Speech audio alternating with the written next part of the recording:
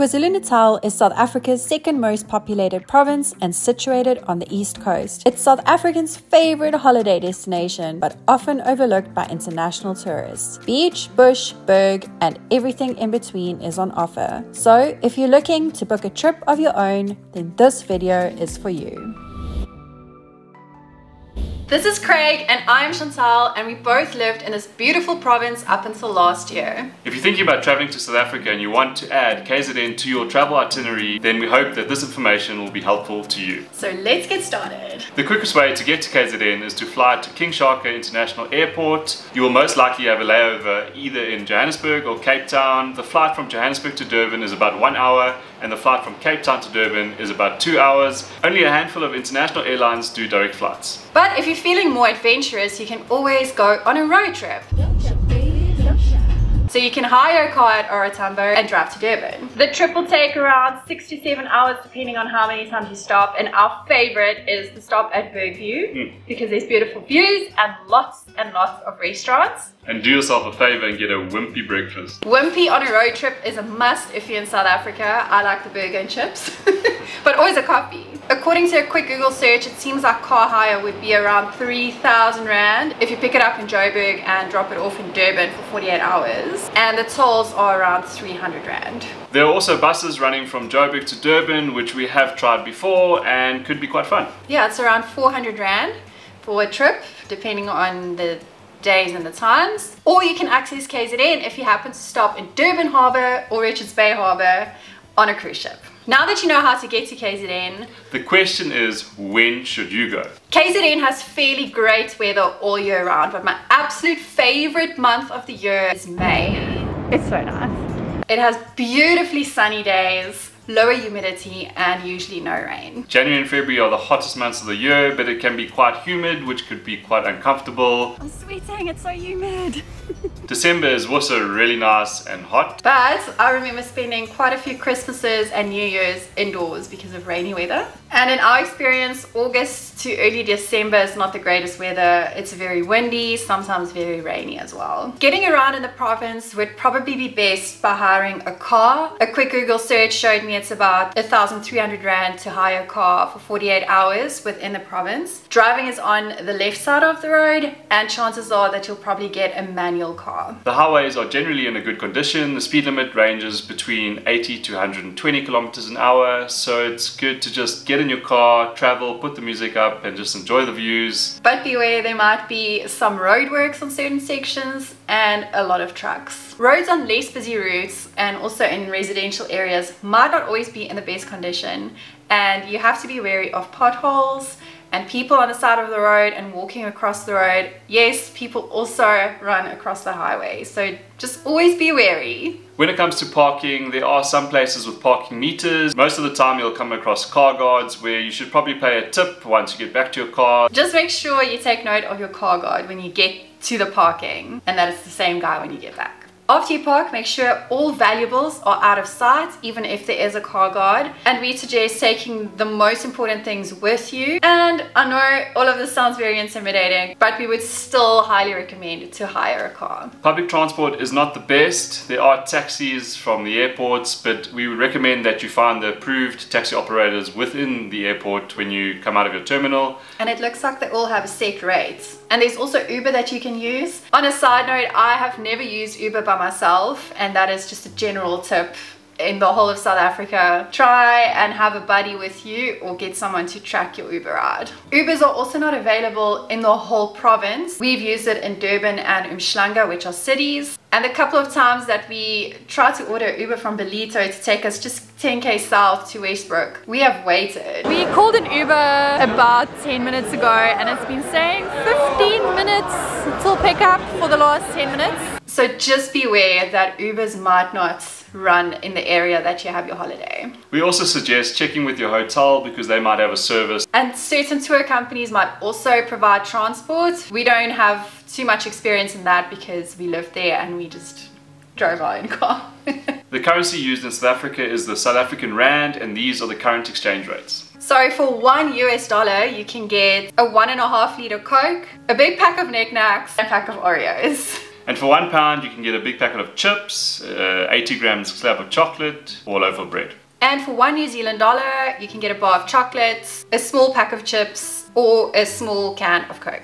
ATMs and currency exchange facilities are widely available at airports, at shopping centers, and at banks. And our general rule while traveling is that we don't draw cash from freestanding ATMs. So the same applies in KZN. Google the main banks of a country. South Africa would be ABSA, Standard Bank, Nedbank. Nedbank, FNB, Capitec. It's always safe to use an ATM from a main bank. Cards are widely accepted and you can tap your card, but it's always a good idea to carry a little bit of cash with you to pay car guards and for when you go to a market. But this brings us to safety. This is always a major topic when talking about traveling to South Africa. So we'll suggest the following. Always be aware of your surroundings. Don't leave your bags or belongings unattended. And if you're in crowded places, make sure to hold onto your bag and make sure the zip is closed. Don't carry large amounts of cash with you. Don't leave valuables in your car and if you do, make sure it's out of sight. When it comes to the beach, don't leave your belongings unattended. And only swim at beaches where there are lifeguards. So all of these tips are valid for any country that you travel to and personally we adhere to this on our own travels. We've divided this next section into beach, bush and berg. But no matter where you go, you are sure to find accommodation that will suit your budget. We'll start with the beach because this is the main attraction in KZN with the warm Indian Ocean. If you're limited with the time and you only have about two nights and you want to be close to the airport, we suggest the following. Starting with our favorite spot, Ballito. We are probably biased with this because we lived in this area for the first three years of marriage. It is conveniently situated just 20 minutes north of the airport and we'd suggest that you find accommodation in Compensation Road, which is right on the beachfront. You can choose from resorts like La Montagne to unique accommodation like the Sugar Shack and lots of variety in between. There is an amazing promenade with lots of beautiful beaches to choose from. Ballito also has a big shopping mall and across the road is the market which has Eat Street with lots of restaurants and things to do which is situated at the Lifestyle Centre. Each area we're going to end off with Craig's favorite pub. So what is your favorite pub in Ballito? My favorite pub is at the Lifestyle Centre and it's called Robson's. They make all their own beer. It is fantastic and if you do go there you have to try the Durban Pale Ale. So fruity. If you're looking for more of a big city vibe, then we'd suggest Umhlanga, which is a 20 minute drive south of the airport. You'll be spoiled for choice with accommodation. You can find an Airbnb which would cost you about 800 Rand per night. Or if you're looking for a five star experience, you could stay at the Oyster Box which would cost you about 8,000 Rand a night. And if 8,000 Rand a night is too much for you, you can still go to the Oyster Box like we did and go to the Lighthouse Bar, which offers beautiful sea views and delicious cocktails, or you can share a bottle of wine. Perfect place. On the deck with the lighthouse in front of you and the ocean. The beachfront promenade is one of our favorites and it leads through to the hidden Forest Cafe, which serves great coffee by the way. If you're looking for some nightlife, then the Umhlanga Village is the place to go, or you can go up the hill to the Umhlanga Arch, which is just full of restaurants and amazing views. There's also Gateway Shopping Centre, which is obviously filled with restaurants and shops. And movies and entertainment. Beaches in Umhlanga are great too, but one of our favorite activities was the pasta making class that we did at Old Town Italy. And this takes us to my favorite pub in Umhlanga, and that is the George, which is in the village, and I've had many a good tank beer there. You can also choose to stay in Durban City itself, from the old and iconic Royal Hotel to the Elangeni or even Suncoast Casino. We definitely recommend going to the Roma Revolving Restaurant, which gives you good 360 degree views of Durban City. There are also plenty of restaurants to choose from, especially on the Golden Mile. Which is about an 8k stretch of promenade. You can hire bicycles, you can book a SUP session or a surf lesson at Expressions go on a rickshaw ride with one of the locals. And my original script says that you can go on the cable card Fun World, but unfortunately, actually this weekend is the last weekend that Fun World will be open, so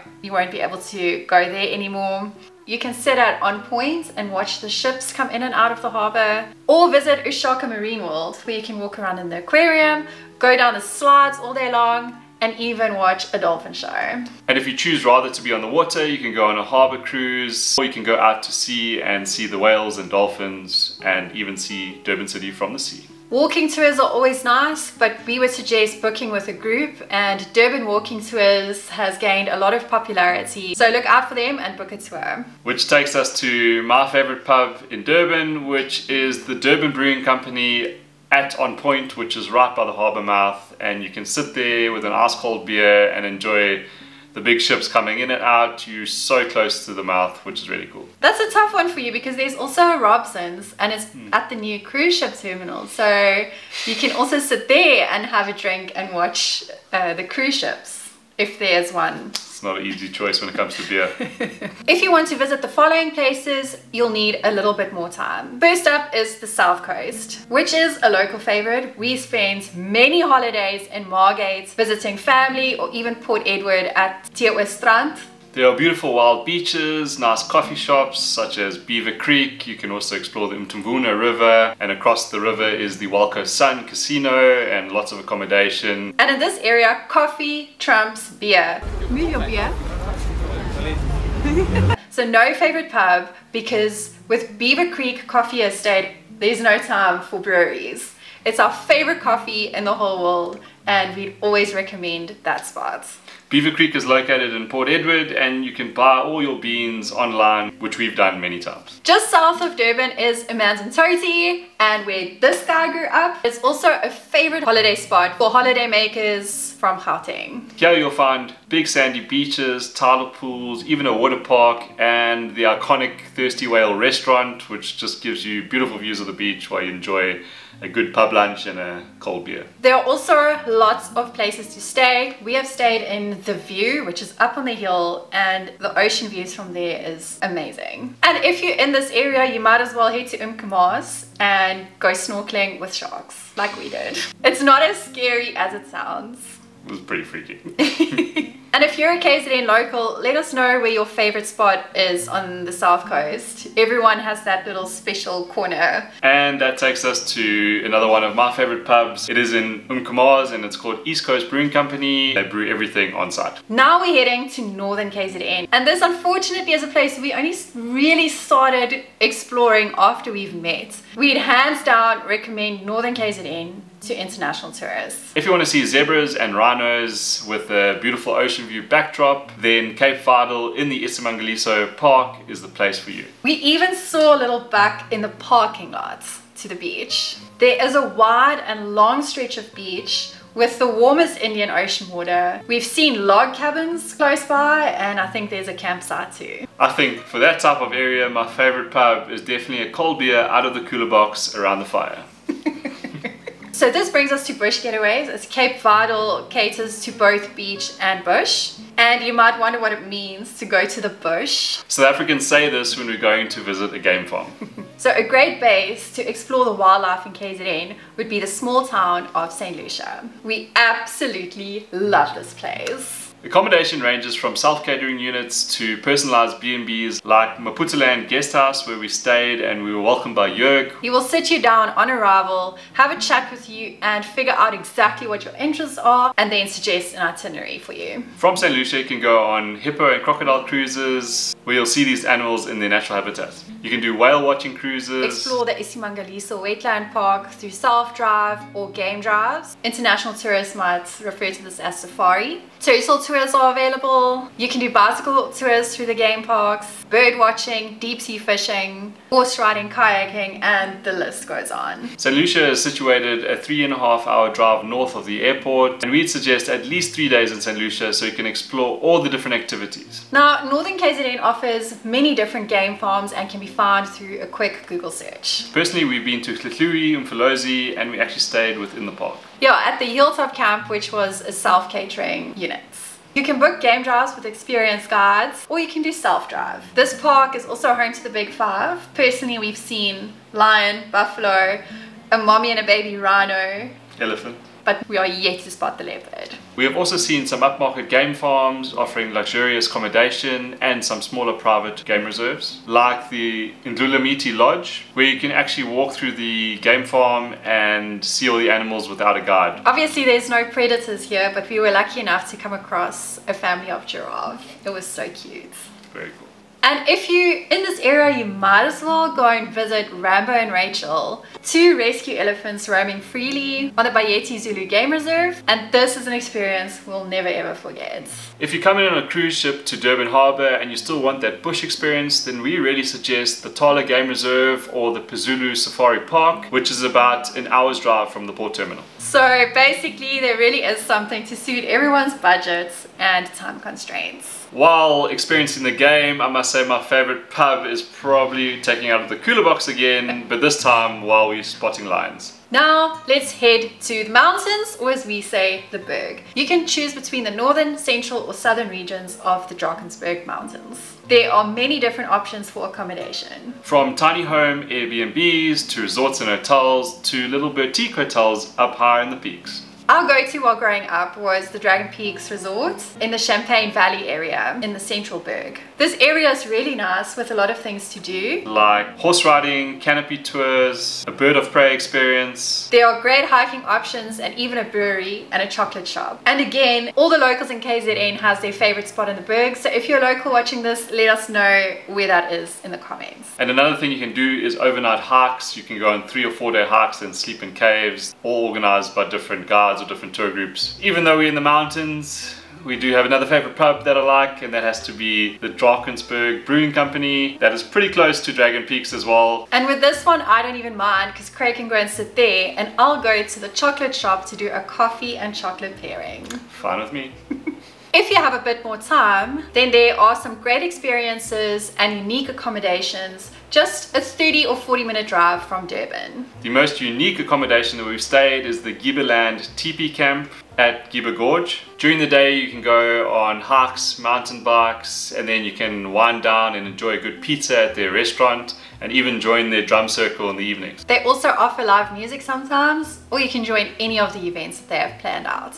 Another unique accommodation we stayed at is the Amazulu African Palace in Kloof. It's got the most amazing decor and great views of the Kloof Gorge. And if you stay here, you also have to go to the Amazulu Sculpture Garden with a walk through all these big trees and they incorporate these artsy sculptures on the walkways. It's very unique. In Hillcrest, you can stay in Masinga, a beautifully converted caravan. We unfortunately ran out of time, so we never stayed there, but definitely check it out if you're in the area. From Hillcrest and Kloof, you can go to the Shongweni Farmers Market on a Saturday morning. You can explore the Valley of a Thousand Hills and even go for a ride in the Changa Choo Choo train. The Valley of a Thousand Hills also offers some Zulu cultural experiences. And that takes us to my favorite pub in Hillcrest Kloof area, which is Stump Nose Brewery. Amazing beer. And they also brew on site. Just north of Ballito, you'll have to visit the Grand Exotic, which is a very Instagrammable restaurant, even if you just pop in for a coffee. But there's also Canelands, which is one of my favorite, favorite places. It's a small boutique hotel offering amazing views of the ocean and a great spot for whale watching. And you don't have to be a guest to visit the restaurant. Lastly, there is the Midlands area, which is a destination in itself, a very popular place for weddings, beautiful little coffee shops, restaurants, pubs, and it's just a beautiful drive driving through the Midlands. And one of our favorite places is Granny Mouse, which is we, where we got engaged. engaged. So, In the wine cellar. yeah.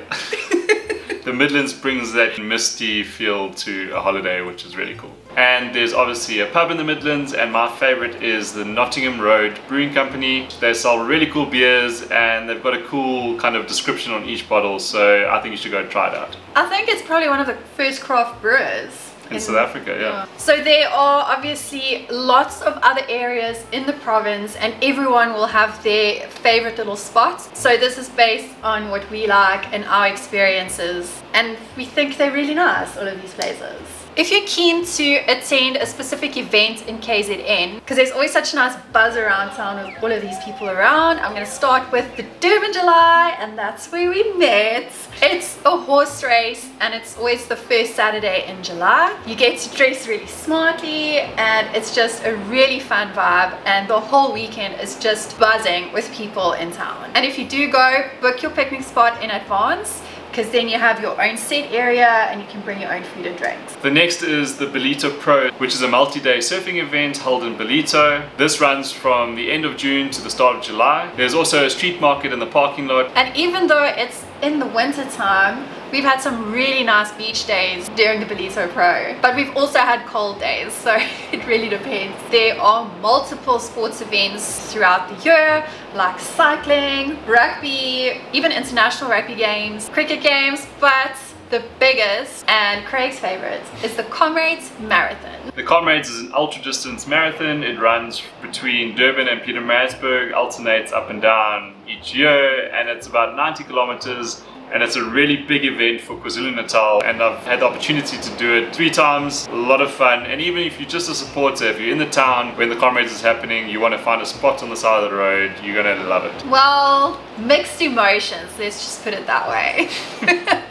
So if you plan to visit KZN during these times, just take note it might get busy and you'll have to book your accommodation very early. I'd like to end off with one of my favorite events in Durban and that's the Trail of Lights. It's normally in December leading up to Christmas. It's at the Botanical Gardens and it's just so nice with lots of food vendors and Christmas lights and it's quite a safe environment. You even have to book tickets for that. If you're in Durban for Christmas then definitely check that out. In KZN you'll find a wide variety of cuisines. It ranges from Greek food, our favorite spot was Nico's in Ballito on the beachfront and it even involved some plate breaking at times. Another one of our favorite spots was Peron Peron, which is an Argentinian steakhouse at Eat Street at the Lifestyle Center in Ballito. And if Italian food is your vibe, there are so many options. And I can't mention Italian food in Durban without talking about Spiga, which has been around for years and years. It has changed location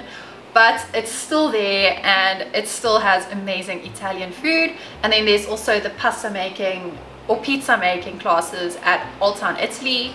And there's Mama Luciana's in Durban North with ocean views. There's lots of options. There are also plenty of half price buy one get one free sushi shops all over the place. And to this day my mom's favorite restaurant is Ocean Basket where she orders her fish and chips and if you come to KZN, you have to try the Indian curry. With the large population of Indians in KwaZulu-Natal, the Indian cuisine is amazing. The curries are so good. And one of our favorite places is Marigold Restaurant where we had one of the greatest crab curries we've ever had. The mutton curries are good, the chicken, chicken, curries are good, the butter chicken is good, the samosas, everything is just amazing. And we also like Marigold because they were the first place to ever invite us to come and vlog. A very authentic experience would be to visit Auntie Pam at the Victoria Street Market. She will most likely get you to try all kinds of food but what you can't go without is a bunny chow. A bunny chow is a quarter or half loaf of bread, hollowed out, where they put the curry inside. My favorite is a mutton bunny chow. You can't come to KwaZulu Natal and not have a bunny chow. And Auntie Pam won't even send out cutlery because this is something you have to eat with your hands. And while you're at the market, you definitely have to visit all the spice shops. They will take you on a personalized tour and while you're walking through, they'll just throw the spices that you like all in one bucket and then at the end you'll walk away with a personalized mix and then of course something very South African is having a braai or a barbecue. Try and make friends with some locals and get them to invite you. The number one app we recommend you to download is EskomSePush. It's a huge possibility that you might encounter load shedding, which is where they turn the lights off for certain hours of the day to kind of share the electricity load within the country. So this app gives you a schedule of times where you won't have electricity, so it helps you plan in case your hotel or B&B does not have a generator. And when it comes to getting connected and getting a SIM card, you can get that at the airports or any of the cell phone shops like MTN, Vodacom, Telkom. And it might be a good idea to get one because Wi-Fi isn't available everywhere, especially in the Berg and the Bush. Or maybe you could consider an eSIM. We've never used one before, but that could be something to look at. As you might know, we are no longer in South Africa, but many people still watch our South African content, especially KZN videos, to get ideas of things to do. But if you're looking for locals to follow and get the most up-to-date information, then we suggest the following. My favorite Instagram page to follow is Expressions Durban. They post stories every single morning of the ocean and the beach conditions and they'll let you know if you can come for a surf or a swim or what the weather is doing. Another two Instagram accounts that you should follow are What's on Durban and Durban Local. We'll keep you updated with events and post a lot of photos and videos of things happening in the area. Then I have to share my friend Mira's page, Adventures of the Fantastic Four. They're a beautiful family of four, obviously, and they often post about which restaurants to visit and accommodations to stay in. And then our friend Nicola over at Run on Coffee will keep you up to date with all the best coffee shops in the province. And if you have any suggestions of KZN travel content creators, then please let us know down in the comments. So as you can see, you'll have a lot to consider when planning your trip to KZN. We have about three years worth of videos on our channel about things to do in KZN. And there really is something to do and see for everyone, no matter how long you're there or what your budget is. So we really hope that this video just summarized our experience of all our other videos all in one convenient place. If you have any other questions or comments or if you just want to share your favorite thing to do in the province, please drop them in the comments. Thank you so much for watching and we hope to see you in the next video. Bye! The comments... Marathon? Yeah, Marathon. marathon, yeah. It's called East Bros. East Coast. And only swim at beaches where there are car, car guards. In saying all of this, South Africa is... No, we're making it sound so unsafe. But anyway, never mind. I don't want to say like this this goes for any country when you're visiting. Like, Okay. And you can stay with my parents, but we won't be giving you their details. It's not like, yeah. Done.